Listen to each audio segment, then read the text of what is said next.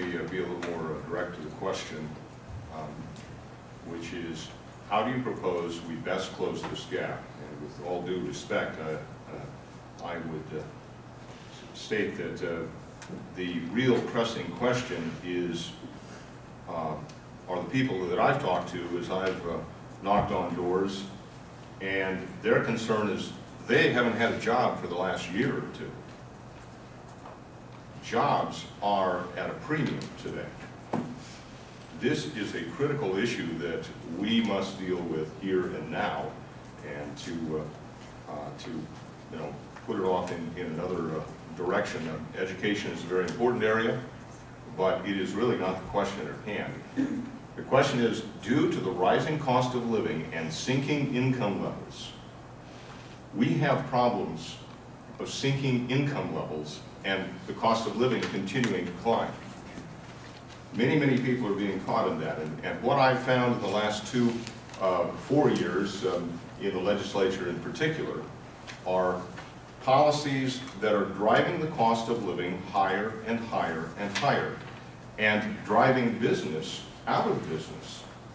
I have a chart here, and I know it's fairly small, but uh, frankly, the, uh, this was prepared by the uh, Legislative Council staff, and it's changes in number of jobs in Colorado's private and public sectors since January of 2008.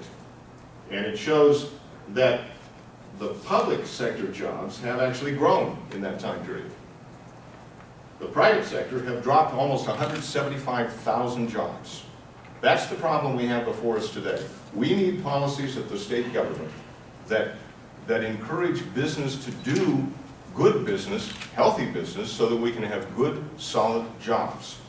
We've also got to stop passing more and more laws that drive the cost of living higher and higher.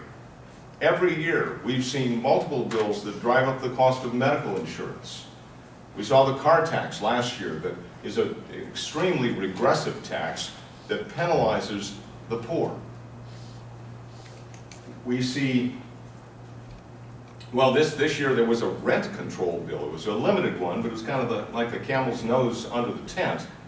Um, that sounds like it's addressing the needs of the poor, but it's driving up the cost of housing for all, including the poor. We need policies that help people limit the cost of living and increase their income levels.